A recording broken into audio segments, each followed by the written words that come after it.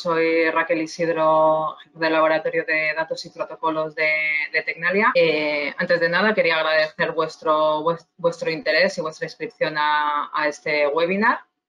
Eh, voy a dar paso a, mi compañero Egoitze Otaola para que se presente y comienza la presentación. Y, bueno, os animamos eh, a que cualquier duda o cuestión que os, surja en el transcurso del webinar, eh, nos enviéis eh, las preguntas a través de, la sección que aparece en el menú que está en la derecha, en la sección preguntas. Nos vais escribiendo por ahí y dejaremos pues eh, los últimos 10, 15 minutos de, la presentación para, intentar dar respuesta a esas preguntas que nos vayáis trasladando. también comentaros que transcurridos unos días recibiréis un correo electrónico donde donde os mandaremos el enlace a esta presentación. Y comentaros también que tras abandonar la, conexión, pues os llegará una encuesta de dos o tres preguntas que os agradeceríamos que, contestéis de cara a poder eh, ir mejorando de cara a, próximos, próximos webinars. Ya sin más, pues doy, doy paso a mi compañera Goicho Tabla. Hola, gracias Raquel. Buenos días. Eh, soy Oicho Taola, analista del Departamento de, Datos y Protocolos y especialista en equipos de la Smart Grid en, 61850. Los que ya me conocéis sabéis que llevo más de 15 años eh, con, equipos de protección y 61850 de la edición 1 y, y estos últimos cinco años en Tecnalia eh, hemos visto la progresión de, subestaciones, de, equipos ya en, edición 2.1, eh, la futura edición 3, así que, creo que puedo dar unas pinceladas de, lo que aquello, de lo que se mueve alrededor de, este protocolo en el ámbito de las subestaciones eléctricas, en los sistemas automatizados de subestación. el, webinar surge como, eh, respuesta al feedback que hemos tenido de, muchos compañeros eh, de fuera de Tecnalia, de, mucha gente que nos requería eh, saber algo más que no sean solo eh, comunicaciones 61850, que involucra y que, de qué tengo que saber. Entonces, por eso hemos hecho este webinar que va a servir como inicio de, una posible formación o, os va a servir como ayuda para saber de qué no sabéis. Así que os voy a dar unas pinceladas de todo aquello que, creo que puede ser interesante conocer. Va a ser un, eh, voy a intentar que no sea, es bastante extensa, aunque no es muy densa, no, no, he querido entrar en profundidad en conceptos que realmente eh, no da tiempo en explicar ahora. Por lo que eh, vais a ver que el temario va a consistir en, indicar el, objetivo que se quiere realizar con este webinar, poneros un poquito en contexto. Que llamamos un SAS, un sistema automatizado de subestaciones al, al psico convencional, el sistema de protección y control que se ha estado utilizando hasta ahora, ver cómo, cómo se debería o cómo propone la norma eh, realizar la ingeniería en una subestación, eh, según un SAS, eh, ver cómo las funciones de protección existentes hasta ahora van a seguir pudiendo realizarse, pero se, puede, se va a cambiar el, punto de vista y, se van a ver nuevas posibilidades de, realizar tareas de, de, protección y control automatización que, hasta ahora no se habían tenido en cuenta y se pueden mejorar. Eh, voy a hablar un poco de comunicaciones, no solo en el ámbito de los servicios de la norma, todo lo que se puede hacer con el estándar 61850, sino eh, el ámbito al que corresponde, es decir, la topología de red, eh, los servicios de la red que se van a utilizar, aparte de 61850, sincronismo, aquello de comunicaciones que no es puramente protocolo. Eh, voy a comentar cuatro pinceladas porque ahora la ciberseguridad va a ser eh, un, campo a tener en cuenta muy importante a la hora de, tener un control de seguridad de la subestación eh, a nivel de comunicaciones y, que no podemos dejar aparte. Y finalmente hablaré de los ensayos. ensayos FAT, ensayos en subestación SAT, ensayos de mantenimiento, aquellas herramientas a utilizar, unas pinceladas de, lo que nosotros como la experiencia de Tecnalia en ensayos hemos tenido y os queremos trasladar. Bueno, los objetivos principales del, webinar es identificar las diferencias, ver eh, qué, hemos utilizado ahora, qué, tecnologías teníamos y, qué tecnologías podemos llegar a tener y, qué podemos usar de, esas tecnologías. Está claro que, una compañía eléctrica puede eh, solo requerir parte de la funcionalidad propuesta por la norma y otras que pueden llegar a intentar implementarlo en, un porcentaje superior. Pues al menos vamos a ver qué se puede, eh, qué diferencias hay en cuanto eh, a posibilidades de, realizar una subestación, un mantenimiento y unos ensayos. Y, por supuesto, voy a presentar aquellas herramientas o aquel material mm, distinto o, bueno, menos habitual en, en subestaciones convencionales. Para poner un poquito en contexto, eh, en que, cómo se ha evolucionado hasta llegar a, necesitarse un SAS, eh, voy a dar un poquito de contexto a la situación convencional, en la cual eh, inicialmente siempre se ha hablado de una red radial donde la energía se, generaba, se, se, elevaba en sus estaciones y se transmitía eh, largas distancias para luego llegar a un nivel de, distribución, distribución primaria, secundaria y hasta llegar a, nuestro, a, los consumidores. Es, la, versión convencional de, unos puntos de generación, transmisión y, distribución. Se ha pasado a una, eh, eh, la gran cantidad de, fuentes de, energía, la generación distribuida, parques eólicos, fotovoltaicos, como podéis ver, grandes puntos de, generación eh, distribuidos a lo largo del territorio y, el, que no haya solo un punto central de consumo hace que la, red eléctrica eh, se haya convertido en una red eh, mallada.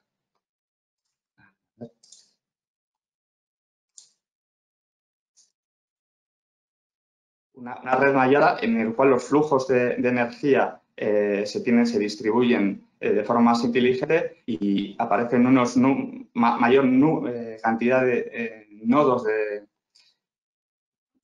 mayor, mayor, cantidad de nodos de, dimensión que se llaman las subestaciones eléctricas. Y en, en, estas, en estos nodos de interconexión, con cada, cada vez más, más comunicaciones, más información a, compartir, es donde es necesario el, disponer de una tecnología que permita eh, automatizarlas. Eh, ya tenemos tanta información, tenemos eh, tantas líneas y posiciones en, la subestación que proteger, controlar, que se ve necesario el, uso de, una herramienta tanto de ingeniería como de comunicación más avanzada que nos permita no, estar en una, no realizar una ingeniería infinita, tener que realizar algo más automatizado.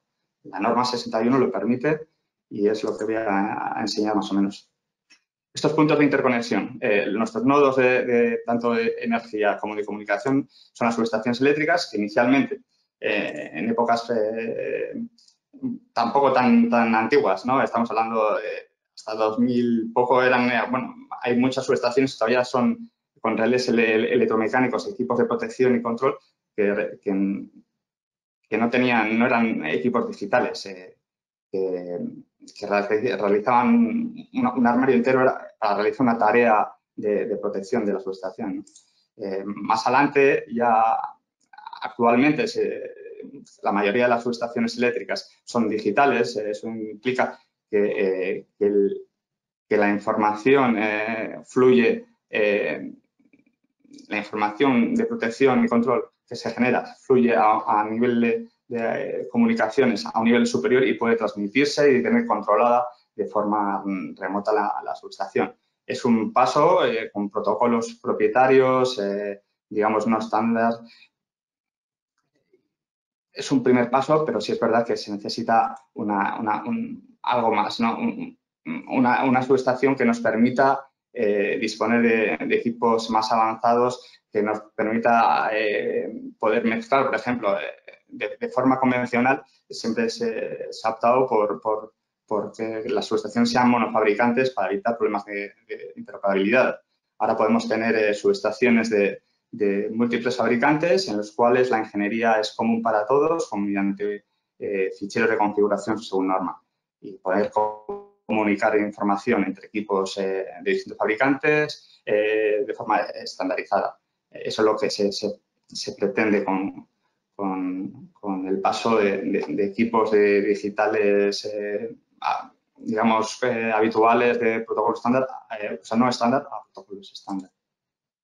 A nivel de comunicaciones, como teníamos previamente antes de 61850, pues tenemos digamos, la información de la paramenta, de, nuestros interruptores, seccionadores, transformadores de intensidad, toda esta información es, eh, cableada mediante cobre.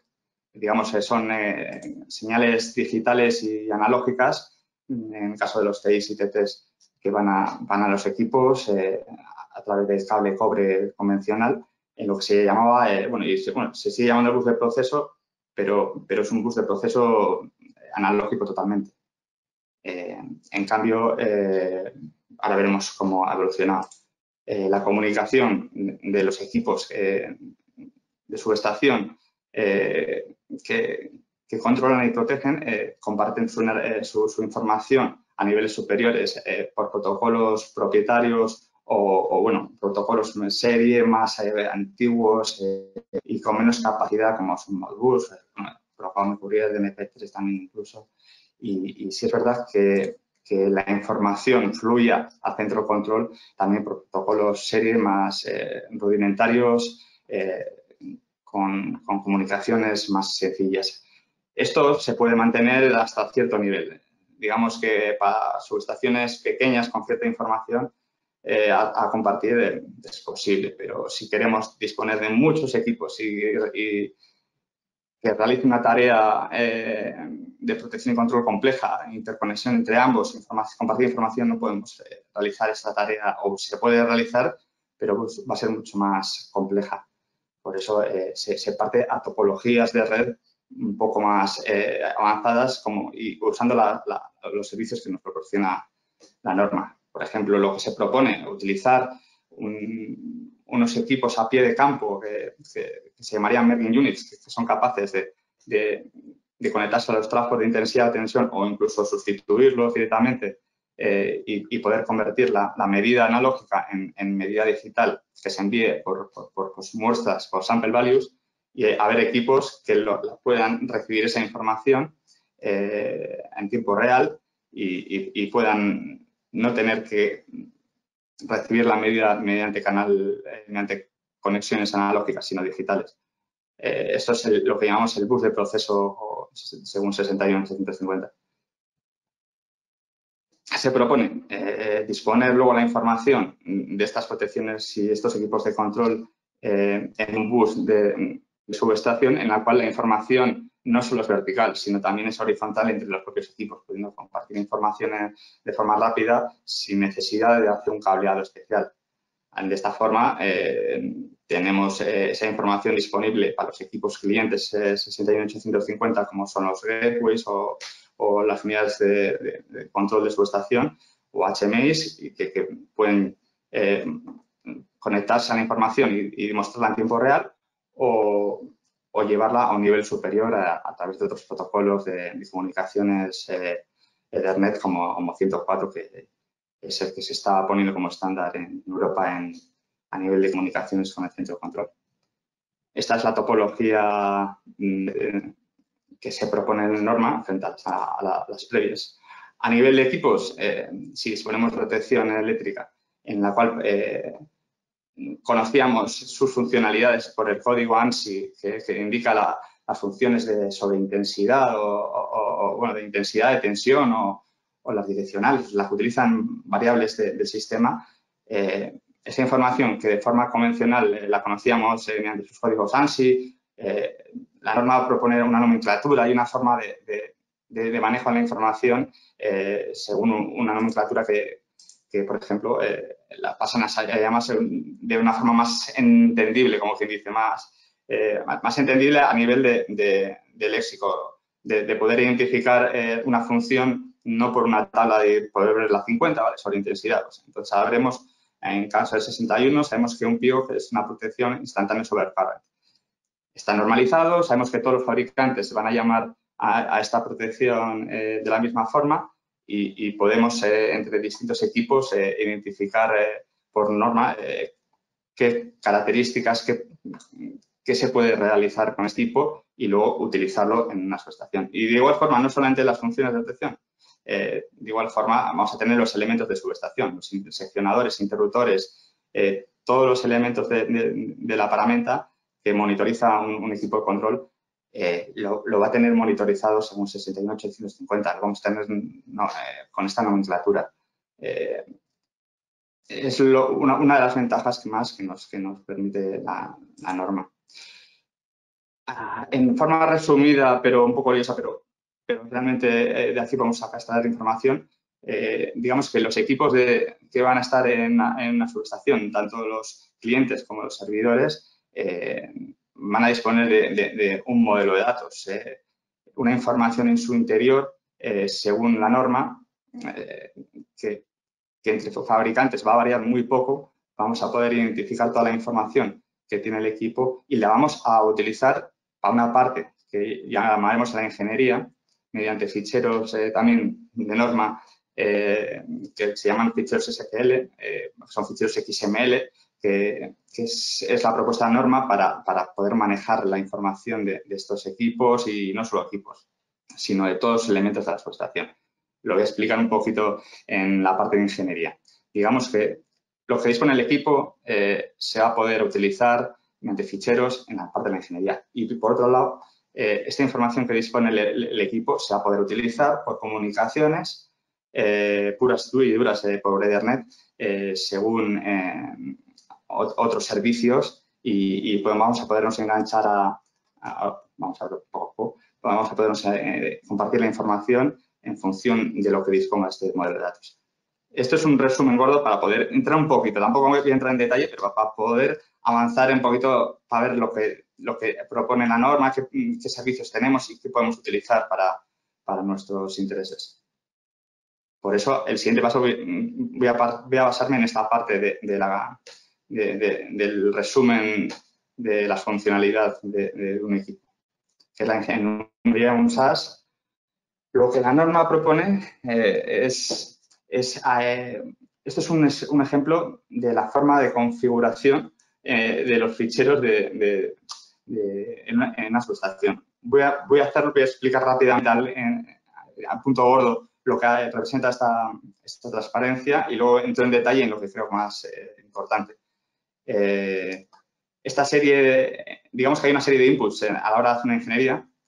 Que los inputs eh, principales que he trasladado va, a ser el fichero SSD, que es un fichero de especificación de sistema, de, de System Specification Description, que lo que nos va a dar eh, es toda la peculiaridad, toda la, la subestación a nivel de, información, el unifilar, los niveles de tensión, los transformadores, toda la, toda la paramenta que, va a conllevar, o sea, que, dispone todas las líneas, eh, todas las barras de la subestación, tiene que verse representada en este fichero. Es un fichero eh, XML, según norma, mm, y, va a ser la base del, sobre la cual vamos a poder configurar el, sistema. Es, nuestro, es una unión del unifilar que hacemos con, con un plan, con un sistema de, creación de unifilares y, y sus eh, necesidades, sus niveles de tensión ya he comentado. Ese va a ser un, punto de partida. Se realizará, ahora luego explico cómo, cómo, se realizaría.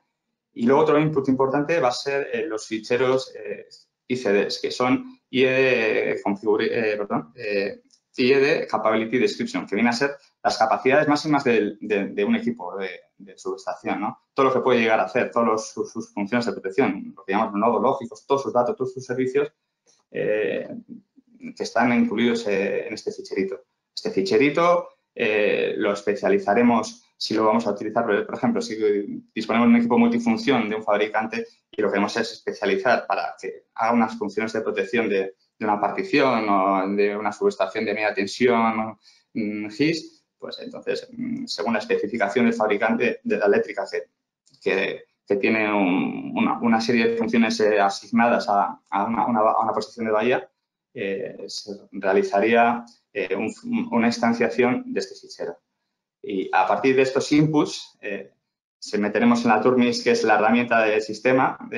estas son herramientas en las que están en estos ordenadores meteríamos en herramientas que, que configurarían tu sistema, unirían las necesidades de la subestación con los equipos que pueden dar eh, cabida, bueno, pueden dar servicio a esas necesidades, que puedan realizar esas funciones de control, de protección, de medida. Eh, digamos que unes eh, necesidades con, con, con,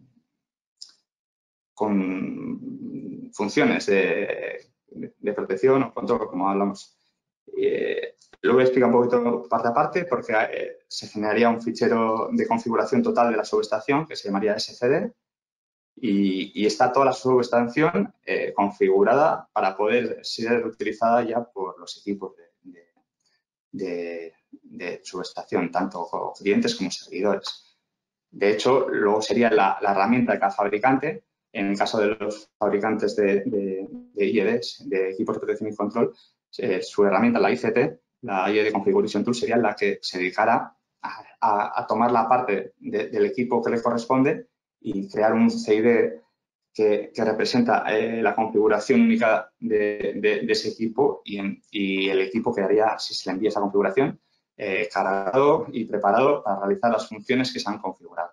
Lo mismo con, el HMI. Eh, al disponer este fichero SSD del unifilar de, la parte gráfica y, y, generarse un SSD, también podría incluso pintar el, el, unifilar de, la subestación y, saber qué señales eh, tiene que recibir para, alimentar esos eventos y alarmas que, tiene que ver.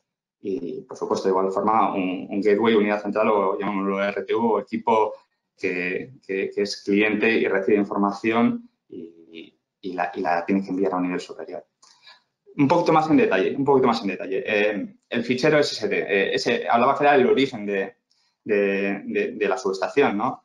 Eh, una herramienta que nos permita pintar, digamos, la subestación, las barras que dispone, las posiciones de bahía, las, las alimentaciones, los elementos, los interruptores, seccionadores, el nivel de tensión, pintaríamos, haríamos el, el unifilar de la subestación y crearíamos necesidades. Y todo se vería reflejado en un documento, en un fichero XML según norma, que representa eh, lo que hemos, hemos pintado. Digamos, no tenemos aquí que saber eh, eh, editar este fichero XML para poder crear un, un, un Esperamos, usamos herramientas tanto o de fabricante o, bueno, ahora luego en el apartado de herramientas como comentaré, pero con estas herramientas generaremos este fichero de necesidades y, asignaremos eh, qué queremos eh, que proteja eh, cada equipo. Es decir, si disponemos de un interruptor, le indicaremos qué funciones de protección queremos que aplicar a, este interruptor, o sea, qué, se lo va a abrir, digamos. Y, el resumen sería creación del unifilar, lo que he comentado, definir los niveles de tensión, los transformadores, el transformador de potencia, los transformadores, número de bahías, protección de elementos, y por cada bahía eh, indicar los interruptores seccionadores y asignar eh, eh, las funciones de protección. De esta forma, nos quedará un, unifilar con, los elementos y, los nodos que representan la necesidad de, cada elemento. En este caso, un transformador de intensidad. Pues, necesitaremos el, elemento 69850 equivalente, se llama nodo TCTR, la medida está en el nodo MXU y uniremos estos elementos a, elementos de protección y control para poder eh, crearla, configurar ya la subestación. Previamente, el otro input que hablaba, hablamos del ICD, este ficherito con el máximo de funcionalidad eh, se especializaría en, la que nos interesa eh, realiza la funcionalidad según especificación de, cliente, según especificación técnica funcional y crearíamos un fichero especializado. Usaríamos la herramienta de, del fabricante, haríamos las lógicas correspondientes, si tiene automatismos, si tiene eh, lógicas de bloqueo eh, ya prefijadas, lo, crearíamos de forma convencional, como se dice, y eh, se generaría un fichero preconfigurado para ser utilizado en la posición que, el fabricante, o sea, que la eléctrica requiera en su, estación. Es entonces cuando los inputs, eh, estos ficheros preconfigurados y las necesidades de la subestación se introduciría una herramienta de configuración global, o sea, un System Configuration Tool, y en ella haríamos la unión de necesidades de, la propia subestación con, con, las capacidades que tenemos con los equipos. Este es un ejemplo de una herramienta gráfica que da más se puede hacer modificaciones en caliente. Se podría hacer de forma automatizada, casi con una línea de comandos eh, para, eh, a partir de unas necesidades eh, y de los ficheritos, poder generar un fichero de configuración total. Seguidamente, lo que comentaba, ese SSD va a servir para todos los equipos disponibles de estación. En este ejemplo, configuramos una, una, protección con su herramienta, abriendo este fichero SSD, seleccionando qué dispositivo, eh, porque aparecen todos los dispositivos de la subestación, queremos eh, pasar a enviar al equipo y entonces eh, se genera un fichero CID que podrá ser enviado al equipo. Este es un, ejemplo de proceso de ingeniería que, que, la norma propone. Soy consciente que no todas las eléctricas, no todos los, utilizan un sistema automatizado como este. muchas eléctricas, muchas eléctricas adaptan sistemas como este, otras han decidido eh, heredar lo que ya disponían de sus, su, nivel, su ingeniería mediante Excel que, que, en lugar de utilizar puntos Modbus o puntos 103 o programa, lo que utiliza es eh, referencia 61. Ha hecho una migración de los sistemas convencionales a 61.850. No aprovecha del todo la capacidad que tiene la, la, capacidad de ingeniería que tiene 61.850. Mm, eh, es, avanzar poco a poco. Este es un ejemplo muy completo y en el cual, eh, de esta forma, eh, digamos, nos obligaríamos a hacer cosas bastante manuales. sería bastante un curro inicial, un trabajo inicial de, ingeniería en cuanto a crear las necesidades de ficheros y entonces el proceso se convertiría en un proceso más automatizado. Es lo que pretende la norma y es lo que, por lo que han optado muchas compañías eléctricas.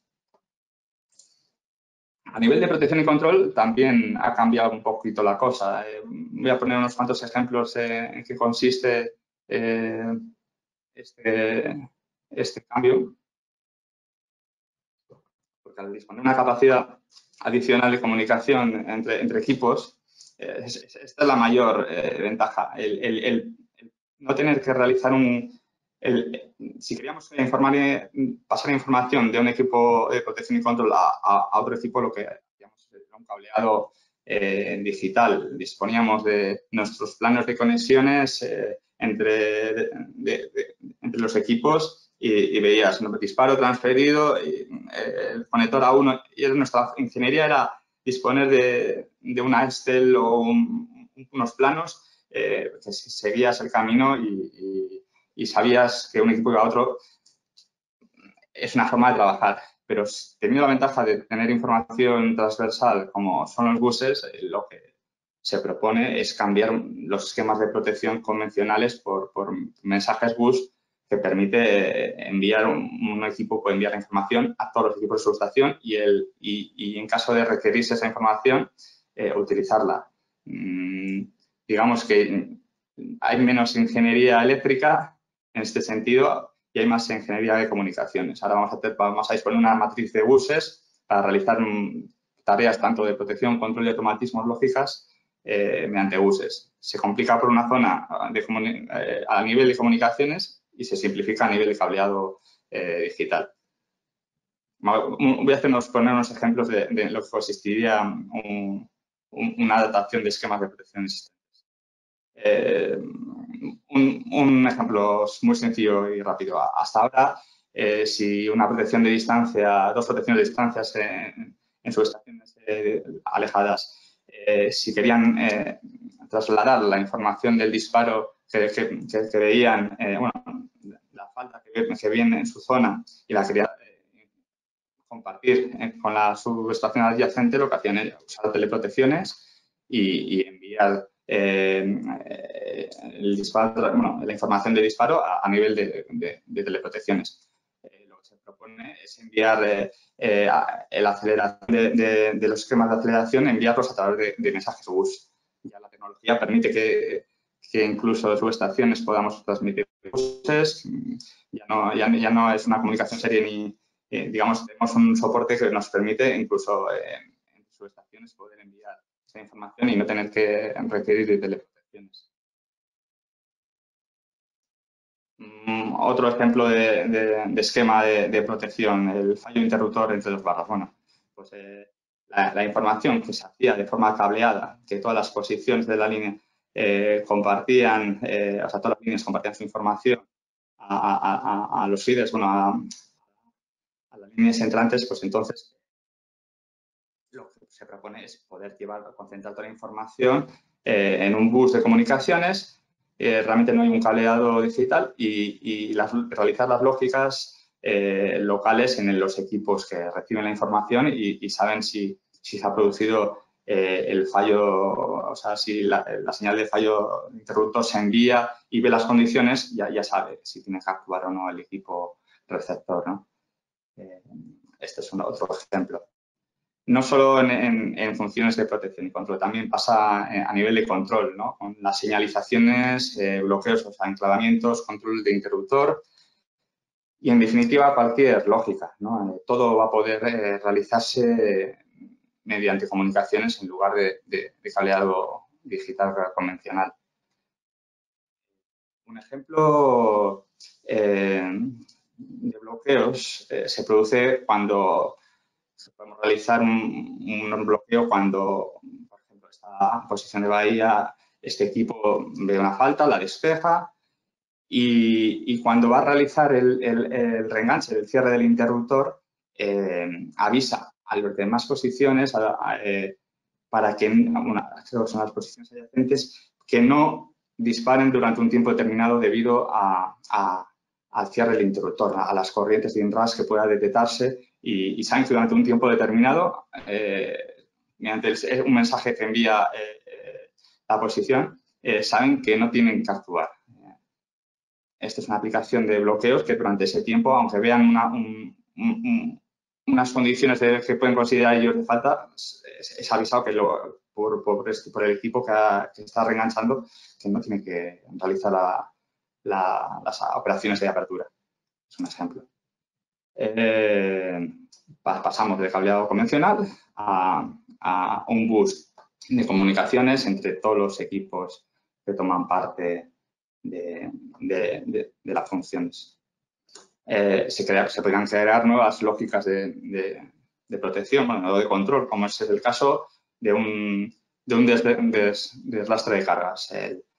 si se ve una sobrecarga y, por lo tanto, un, una, subfrecuencia eh, en función de las líneas que vean esta, esta subfrecuencia, podemos eh, crear una lógica de, deslastre en la cual se decida eh, cuál línea es más prioritaria poder abrir y, soltar carga y evitar un mal funcionamiento. se crean, se pueden crear lógicas mucho más complejas a partir de información disponible. Eh, voy avanzando poco a poco. Seguramente eh, haya dudas, eh, os animo a que escribáis preguntas porque sé que se, queda corto. Seguramente queréis saber más aplicaciones, saber en detalle cómo, cómo, realizar lógicas de protección determinadas y podéis hacer preguntas. Es verdad que en función de vuestro feedback tenemos pendiente poder realizar un, algo más detallado para, poder eh, eh, saber cuáles son vuestras necesidades y, poder responder a, ellas. Eh, a nivel de comunicaciones, eh, comentar al inicio que no solo voy a, comentar lo propiamente dicho que se hace en, los cursos de 61.850, que se habla del modelo de datos, servicios, y suele ser bastante árido, suele ser un tema bastante mm, novedoso y, cuesta explicarlo y por lo tanto en, el tiempo que tengo no, lo, me da tiempo, pero por eso voy a mencionarlo. Y a la vez voy a hablar de otros eh, servicios que se hacen de uso relacionado con comunicaciones y que no tiene que por qué ser exactamente 61850, sino también eh, a nivel hardware y medios físicos que, hay que tener en cuenta que van a estar disponibles a nivel comunicaciones puramente 61850, volviendo a la gráfica de, que tenía de, antes, eh, vamos a disponer de equipos 61850 cuya información va a ser eh, trasladada a, la red a través de servicios. La forma de, cómo se va a enviar dependerá del servicio utilizado. Me refiero que un mensaje para un cliente eh, pues será tradicionalmente un, lo que llamamos un report. Se, se, enviará una serie de información eh, seleccionada de este modelo de datos solo cuando se produzca un cambio eh, del valor o de la calidad. O si se le pregunta por todos los valores, hacer un general interrogation o por integridad. Pues eso va a depender del servicio utilizado. La, la información se, se, verá en la red de una forma u otra. Otros servicios, los buses, también seleccionaremos qué información del equipo eh, es interesante que se envíe eh, de forma compartida a otros eh, equipos en, forma de buses. Y, y incluso los sample values, ahora que ya la 61879 permite seleccionar el, el dataset y qué información concreta que queremos, qué medida enviar, nos va a permitir seleccionar eh, las medidas eh, que más comúnmente son las intensidades eh, y las extensiones del equipo para poder compartirlas con otros equipos que puedan tener la capacidad de recibir sample values. En resumidas cuentas, lo que vamos a poner van a ser una serie de servicios, son infinidad de buses, o sea, cada, incluso dentro de cada, hablo buses, pero bueno, el envío de buses, configuración de bus, todo se puede, eh, se hace uso de un servicio para tanto para poderse configurar, habilitar, enviar, modificar. Es, muy complejo y no me da tiempo en esta presentación a, explicar, pero sí es verdad que hay que saber que todo lo que por comunicaciones se, se, envíe va a acabar eh, siendo visible, eh, por ejemplo, con un sniffer como el Wireshark que que yo luego os comento que es una de las herramientas básicas que hay que tener. Luego ya usar, ya hablaremos, pero hay que tener el WhatsApp para poder, eh, mediante un uso de filtros, ver que lo que estás enviando es correcto. Esto, esto es a nivel básico de semi-programador, pero bueno, hay que, hay que tener siempre las herramientas, el destornillador preparado por si hay que, meter mano, pues eh, el WhatsApp nos va a permitir eh, ver, porque la comunicación que, se utiliza en 61850 eh, se vuelca a la red, eh, parten en, paquetitos como, como, estos que llaman MMS, hace uso de, este tipo de, protocolo para poder ver información puramente 61850. Aquí tenemos la información de un report. Es un report y nos indica eh, las variables que han cambiado. De igual forma, eh, disponemos de otro servicio y podríamos ver en buses podríamos ver los mensajes estos que se comparten con todo el mundo, pues eh, también lo, se pueden ver. Ya no necesitamos un, un sniffer serie colocado o, a un instrumento especial para poder ver la información. Esto es eh, simplemente con un control de puertos en los switches y, y, un sniffer, vemos que lo que tiene que estar en la red está en la red. Incluso con, con los sample values, que es un, es una burrada de información la que se envía por, ciclo. Realmente eh, se envía todo el muestreo de, las magnitudes analógicas que está captando la Merging Unit o el equipo con capacidad de envío de Merging Unit, o sea, de Sample Values. Eh, toda esta información está se vuelca en la red y, se ve. Se ve. La otra parte de comunicaciones que quería comentar es a nivel eh, de hardware. pasamos de comunicaciones serie eh, punto a punto como 232 o en bus 485, eh, medios eh, eléctrico fibra, pasamos a, lo, más común e igual encontrado eh, a nivel de, comunicaciones actualmente. ¿no? Si el, eléctrico, el cobre sigue siendo útil, sobre todo a nivel de comunicación entre en el mismo armario, el llevar toda la eh, toda la información eh, a, los switches. lo más habitual es utilizar eléctricos. Se ha visto que, que, los campos eléctricos no afectan tanto en el, en el, propio armario. Si es verdad que cuando hayas más distancias, eh, la unión entre armarios y switches se suele hacer por fibra y, es la topología, bueno, mm, el uso de, de, cableado más habitual y medio físico utilizado para, para evitar eh, campos la fibra entre armarios, en el propio armario. Pero bueno, ya hay muchas eléctricas que prefieren que de origen sea siempre todo fibra y nos evitamos problemas de, emisiones. Por otro lado, quería comentar también cómo hemos pasado de, topologías de red de, anillo, perdón, de estrella sencillas, ¿no? de el, en, un armario de, protección y control se, se concentraría toda la, información en un switch y, de ese switch va a otro switch. Eh, es, la, digamos que la topología menos redundante porque si cae un hilo pierdes la comunicación de toda una rama, mm, por lo que se evolucionó el anillo, que parece un poco más segura, e incluso el, doble anillo con, con, unos protocolos de, de, switches como el RSTP que tienen en cuenta los caminos Mm, el camino más corto, pues parece un poco más seguro, ¿no? Pero bueno, ya requieren, requieren de que los equipos dispongan de una, un protocolo de redundancia, en este caso Hot Standby, pero lo que la norma propone y, digamos, eh, se ha visto que es más eh, funcional son protocolos como el PRP, que lo que hace son anillos eh, independientes que comparten la información, el equipo tiene que tener este, este protocolo o HSR, que evitamos, quitamos switches, ya digamos que la interconexión es entre los propios equipos y, si cae un camino, disponemos del otro camino.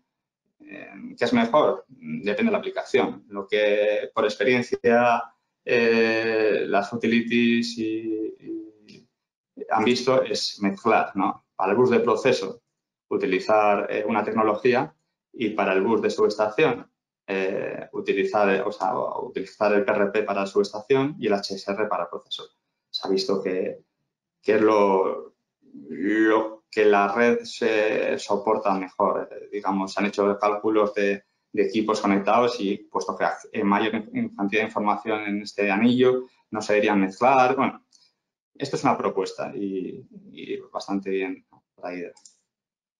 Mm, algo que no se suele hablar mucho sobre 6850 son las virtual LAN. Eh, tradicionalmente siempre se ha, se utilizado las virtual LAN para separar tráfico pues, utilizando la misma equipación de comunicación, mismos switches, mismos routers elementos, es poder separar la, comunicación que no tiene nada que ver entre ellas. Es decir, eh, en una subestación si hay videovigilancia, IP y voz, y pues se separaba mediante VLAN junto al tráfico de subestación. Ahora lo que también hay que tener en cuenta que, que si al final de alguna forma, por ejemplo, ahí está unido el bus de subestación y bus de proceso y tenemos sample values y buses, es conveniente eh, eh, usar VLANs, eh, VirtualLANs para poder crear redes virtuales y optimizar el, tráfico en la red. es algo que, también a la hora de la ingeniería tenemos que tener, que tener en cuenta, ¿no? el uso de, de VirtualLANs. Otro de los aspectos que, que, bueno, que no, no, es parte de la norma, pero bueno, ya recomiendan, es el uso del protocolo eh, IQ 588, que llama PTP, eh, que nos permite, usando comunicación Ethernet, tener una precisión de hasta un microsegundo. Eh, hay otras tecnologías que disponen casi esa precisión, pero bueno, no son Ethernet y, y el, que sea Ethernet nos permite poder compartirlo de forma mm, más directa siempre y cuando tengamos en cuenta que los elementos intermedios tienen que ser compatibles, es decir, eh, puesto que el, maestro PTP envía la hora eh, con un marcado de tiempo exacto, eh, los saltos de, entre switches, entre elementos, debe tenerse en cuenta los tiempos de, de latencia y perdidos durante estos saltos. Este protocolo explica cómo tiene que comportarse un, un, esclavo, un, un, reloj transparente, ¿no? Como llaman. Es decir, tener en cuenta los retrasos, eh, los retardos añadidos en, cada salto. Así sabemos con, a nivel de, microsegundos eh, un marcado de tiempo mucho más exacto con otros protocolos, que no tienen en cuenta los saltos, que pueden el mensaje de la trama desde que se envía hasta que se recibe puede, puede retrasarse este, este timestamp, esta fecha. Por lo tanto, el, uso de un protocolo como el ICUBO mm, nos permite este nivel de precisión y, es recomendable usarlo para muchas aplicaciones como por supuesto, para, para luz de proceso y sincropasores, que son los que tienen requisitos más exigentes. Voy a meterme con ciberseguridad también otras pinceladas, no, no voy a entrar en, mucho detalle, ¿no? porque sí es verdad que, igual en, en, pequeñas subestaciones y en estaciones aisladas no era necesario eh, disponer, o sea, tener unas actuaciones de ciberseguridad determinadas, pero se está viendo que, que es muy importante tener segurizado eh, eh, todo el sistema. hay una serie de normas que, que nos dan consejos y, guías de, utilización y, la que más estamos siguiendo es la 6244342, que es la que se indica eh, eh, cómo cada uno, cada uno, de estos puntos, cuáles son los consejos para, para, para, para, tener una subestación cibersegura. Eh, enumero unos cuantos eh, criterios de la norma, como, como el tema de identificación y autenticación, eh, ahora a todos nos parece lógico que todos tengamos nuestro usuario y contraseña, que tenga más de tantos caracteres, que no se repitan, eh, bueno, que, no se vean admin-admin, que no, no, sean por defecto, que ya no haya una, una contraseña que sirva para todo, para, para, todo el tipo de equipo.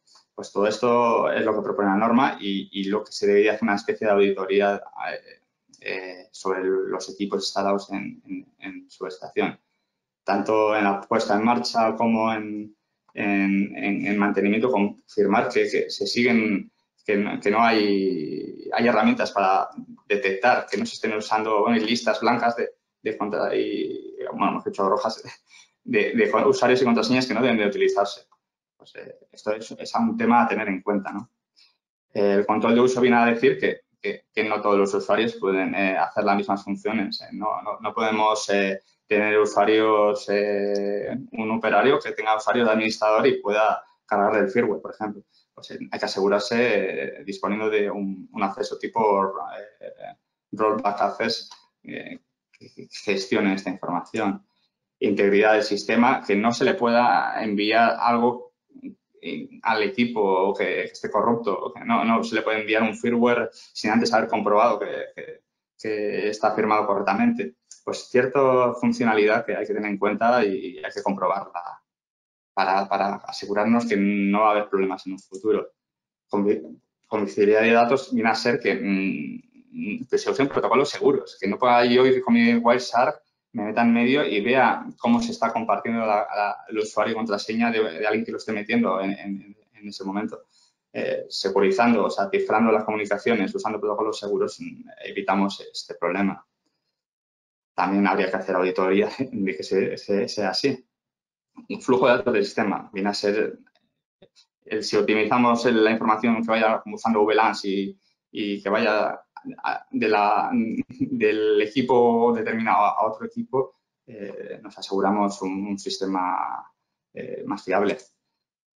Eh, respuestas oportunas. Eh, ver que eh, el tráfico existente es el correcto, Que, no, que no haya un tráfico no esperado. Para eso están equipos de monitorización continua. El IDS es el que está ahí mirando que solo vea buses, solo vea comunicación MS. es el que levanta el dedo si ve cosas raras. Y disponibilidad de recursos que, bueno, siempre que no podamos digamos, de alguna forma hacer que el equipo deje de hacer su función que, ante un ataque, por ejemplo, de negación de servicio, el equipo eh, siga funcionando. Eh, hay una serie de, al final hay una serie de pruebas de, ciberseguridad utilizando software de, de ¿cómo lo llamamos? Eh, de ciberataque ético, ¿no? se, se, utiliza un software para comprobar que, como de hackeable o de es un sistema. Pues, eh, estas herramientas hackinético, eh, eh, nosotros, por ejemplo, lo utilizamos en los laboratorios para poder confirmar que, que, los recursos van a mantenerse estables. Y por último, que, que, se me come el tiempo, voy a hablar un poco de, de, ensayos y herramientas de ensayos. esto viene a ser que, que yo he numerado los ensayos que más frecuente. si hablamos de los FAT, son los ensayos que se realizan en, fábrica, ¿no? que pueden ser tanto el fabricante, del fabricante de un equipo como el equipo en conjunto. ¿no? Aquí vemos la, este sería el fabricante que hace sus pruebas eh, para ver si cumple la funcionalidad requerida eh, a nivel de, equipo y, aquí a nivel de, la celda entera. ¿no? El, ver que el, equipo con la celda, con los elementos, eh, funciona. Estas, estas son las pruebas que se realizan antes de, entregar el, equipo al cliente final. Eh, luego estaríamos las pruebas de certificado de producto sobre norma. Aquí nos he, metido a Tecnalia en todas sus variantes, es decir, que en las pruebas que se realizan tanto de, compatibilidad electromagnética, mecánicas, climáticas, de 61.850 a nivel de, de conformantes, eh, pruebas funcionales, estas de aquí no serían, eh, he indicado unas ya específicas de, de fabricante, estas serían las certificados de productos sobre especificación del cliente, pero, se harían a nivel de laboratorio todas las que, haríamos. Podrían podido ser manuales o, lo que estamos adoptando ahora, que es intentar automatizar todas las pruebas y, poder sacar un certificado y muchos resultados a partir de esa información. Eh, esto se realiza en laboratorio habitualmente y, lo que se pretende es sacar un, documento que indique que se cumple el equipo la funcionalidad según norma. Y las que, las que mencionaba en esa parte, que son las específicas del fabricante, es, eh, digamos que, vale, podemos cumplir norma, pero siempre hay parte de la funcionalidad que requerimos que sea, que sea según una compañía, una utility. Nosotros también, por ejemplo, hacemos ensayos de ese tipo y, eso, y son adaptaciones de, de, normas eh, de parte de la información eh, realizamos unos ensayos que dan un, informe con, la aceptación de, estas pruebas. Y interoperabilidad, pruebas de interoperabilidad que, no siempre se hacen, pero se ha visto la necesidad del poder comprobar eh, antes de llevar a, campo el que un cliente comunica perfectamente con un, con, un servidor, eh, que los servidores entre ellos también comuniquen, mediante un entorno de pruebas controlado eh, se puede, eh, o simulando equipos o con equipos físicos, comprobar que el funcionamiento de nuestros equipos físicos realizan la función determinada. Esas son las pruebas de interoperabilidad que, que, animo a que se hagan más a menudo, porque muchas veces se va a campo y ya se verá en campo lo que va a ocurrir, lo que, lo que pasa.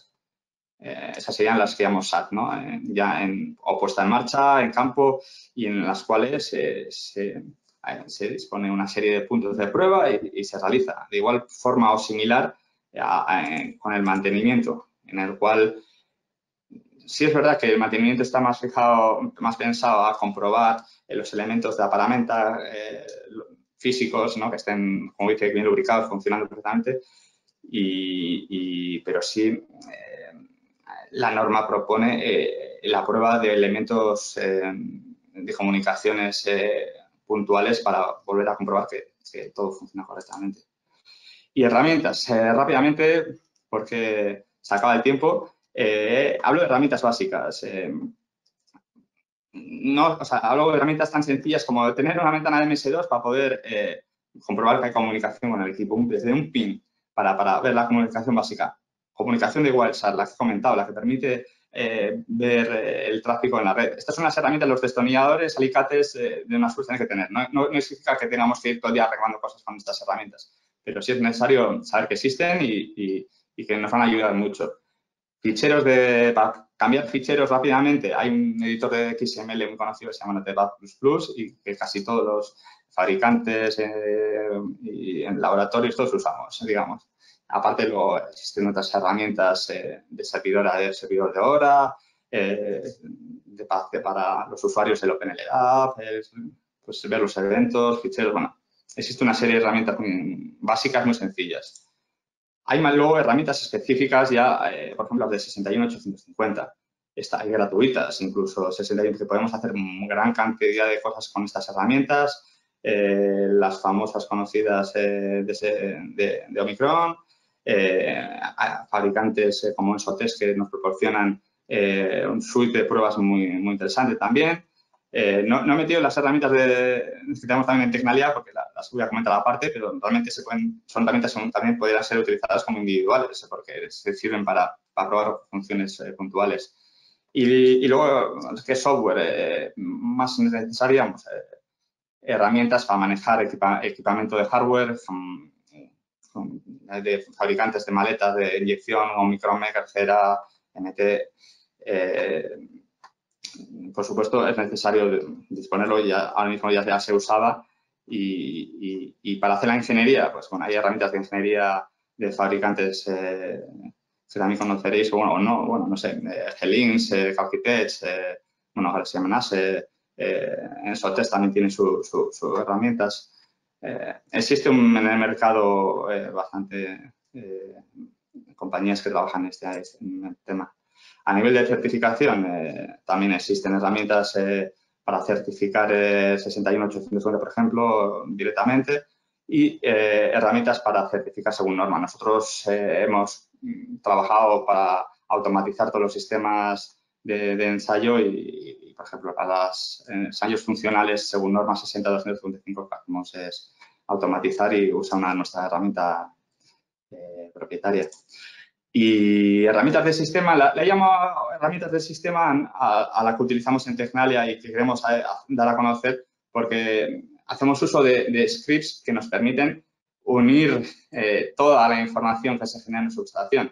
Tenemos librerías de, de Maestro 104 para inicializar, por ejemplo, eh, la actuación de, una maniobra desde eh, simulando un telemando, eh, iría a un gateway, el gateway haría el mando equivalente a 61.850, actuaría sobre el equipo, nosotros tenemos las herramientas necesarias para ver, comprobar si el equipo ha realizado la acción correcta, capturaríamos eventos, todo está, todo lo tenemos, tenemos un sistema automatizado que permite recibir ficheros con, con, trade, con FEDE, analizar contenido, ver si se ha realizado, ha recibido las señales correctas, eh, sincronizar el equipo.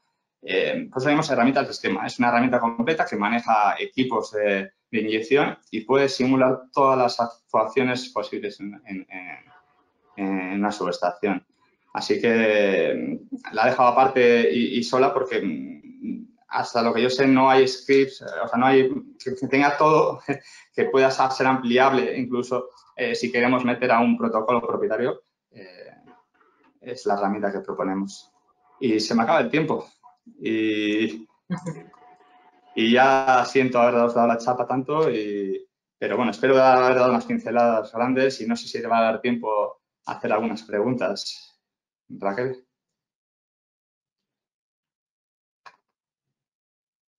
Por cierto, ahí tienes mi dirección de contacto, por si queréis pues eh, contactar directamente conmigo. Efectivamente andamos muy, muy justos de, tiempo, así que bueno, eh, lanzamos eh, dos, tres preguntas hoy, si te parece, y el resto pues nos pondremos en contacto con vosotros de todas formas para, para aclararlas, ¿vale?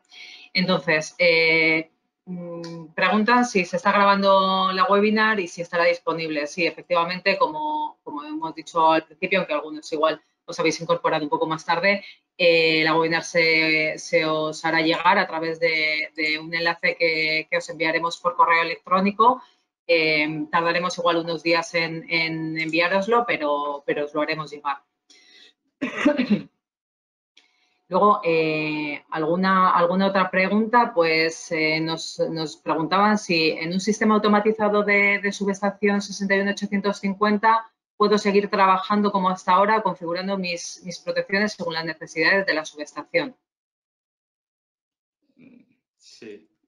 Bueno, eh, si, digamos que en tu vida normal solamente usas el móvil para mandar SMS y, llamar, pues te sirve eh, un Nokia eh, de los antiguos. Pero si lo que quieres es tener un sistema intercomunicado con gran funcionalidad, vídeo, bueno, en el caso del móvil que tener, realizar videollamadas a alta resolución, pues no, igual un iPhone igual no necesitas, pero si necesitas un equipo, o sea, una funcionalidad en, un equipo, en este caso, eh, la 68850 te da más capacidad para hacer más cosas. Si no vas a usar, pues incluso puedes utilizar tu iPhone 14 para mandar SMS. Me refiero, puedes hacer la misma funcionalidad de siempre con equipo 61850 o, o puedes aprovecharla y, sacar provecho y, optimizar el sistema. O sea, sí, puedes, puedes seguir trabajando como hasta ahora, aunque no lo recomiendo para sistemas grandes. Vale. Otra pregunta que nos, que nos lanzaban. Eh, ¿Las nuevas lógicas de protección las define la, la norma 68850? Eh, ¿En qué parte, si, si es que lo hace? Eh, digamos que hay, grupos de trabajo de la cual yo, me he basado en, en, un working group, a ver si lo tengo por aquí, eh, creo que es el working group B553, creo que es el que me, he basado yo, eh, que se bueno, hay un comité en el cual saca, han sacado un paper para CIGRE en el cual indican gente de estudios de cada país todas las aplicaciones que se pueden llegar a hacer. Eh, luego, la norma sí que ha sacado la parte 90-10 o 90 o 94, en la cual es una, guía de aplicación de la norma, ¿no? que indica eh, pues tanto los servicios de comunicaciones que recomendados, cómo hacer las topologías de red, cuáles son las lógicas de protección eh, más habituales y cómo se pueden hacer. Eh, no es propiamente el núcleo de la norma, pero sí que existen ya grupos y partes de la norma que están trabajando en, dar salida a, dar información de cómo hacer lógicas de protección y control más eh, eh, prácticas.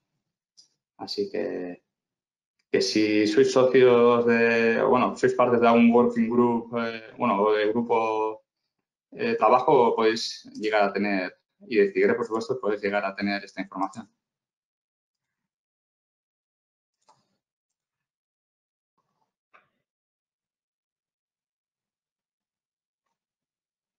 ¿Da tiempo a una más, Raquel? Ahí no te oigo. Perdona, que estaba, estaba muteado. Digo que vamos a aprovechar y, lanzamos alguna, alguna otra pregunta que, teníamos por aquí. Eh, nos dicen, a ver, ¿Qué debo especificar para tener una red eh, redundante PRP? Eh, por supuesto, equipos, equipos que PRP. Digamos que en, una subestación vas a necesitar hacer una, red PRP, es, un anillo de, son dos anillos de, de, equipos y switches, dos redes paralelas, por lo tanto los switches tienen que ser PRP tener la capacidad de que sean PRP, los, eh, los equipos tanto de protección, o sea, tanto los servers como los eh, clientes tienen que tener la capacidad de tener dos bocas según PRP. Y si queremos analizar, o sea, ya con esto eh, se podría enviar a, a, su estación para un análisis de, de, la información sería recomendable también tener unos equipos que se llaman redboxes, que son equipos que, que que hace la unión entre las redes redundantes PRP o HSR con, una red convencional. Así que eh, simplemente los equipos de comunicaciones tienen que ser PRP. Eh, digamos que ya está bastante especificado y cerrado y no se requiere eh, mucha más información. Vale, vamos rápido porque nos estamos pasando ya un poco de tiempo. ¿Cómo se comprueban los requisitos de ciberseguridad que has explicado? Bueno, eh, comentaba que gran parte son, o sea, se ha basado en tecnología IT y OT eh, a nivel de, poder utilizar eh, las herramientas de hacking ético que existen en el, mercado. Bueno, no en el mercado, realmente son distribuciones de Kali y Linux, pero sí, pues nosotros, por ejemplo, en, en, hemos integrado en nuestras herramientas estas herramientas para poder lanzarlas y, tener, poder lanzar las operaciones de negación de servicio, de análisis de puertos, mm, e, esto a nivel de comunicaciones. Sí es verdad que hay otras muchas pruebas que son bastante más manuales, que es eh, comprobar que los puertos eh, físicos estén capados. Hay que ver que que realmente por el puerto USB del frente del equipo no, no se puede.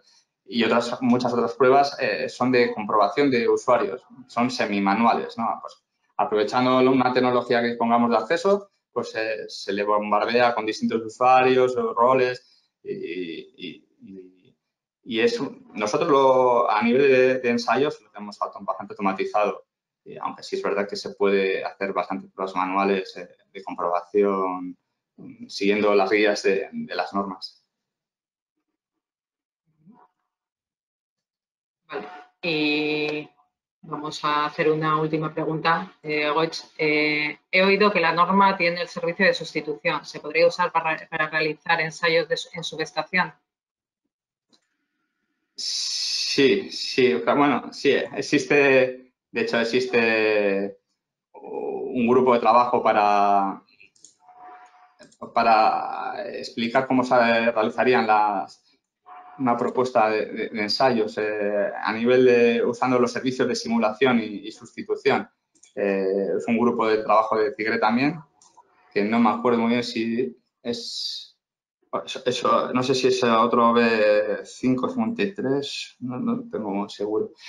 Y, explican cómo podemos eh, simular la información y sustituirla en nuestro modelo de datos para poder eh, comprobar que el resultado de comunicación es el esperado. Mm, digamos, actuaríamos sobre el modelo y, veríamos los resultados sin, sin, actuar sobre la paramenta. O sea, está pensado para poder hacer pruebas in situ en una subestación y, simular situaciones de falta sin hacer eh, maniobrar a todos los elementos de la paramenta que, muchas veces no siempre tenemos un descargo, un descargo disponible y se puede abrir una posición. por lo tanto, eh, el modelo de sustitución y, simulación permite eso, el poder eh, comprobar, las, por ejemplo, las señales de telemando llegan correctamente a, centro de control sin tener que llegar a hacer la acción total, eh, sino solo simulando y sustituyendo en el modelo de datos información de, los propios equipos que captan información. Pues, si te parece eh, dejamos aquí esta tanda de preguntas también. Eh, agradeceros, como, os decíamos al principio, vuestro, vuestro interés eh, en, este, en esta presentación que os hemos realizado.